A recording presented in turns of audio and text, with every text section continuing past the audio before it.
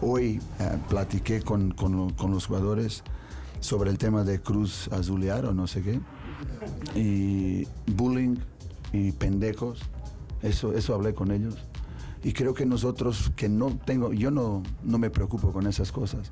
sí me, me preocupo con lo que es el tema de la tarea, pero nosotros estamos haciendo cosas que llevamos a que se burlen de nosotros.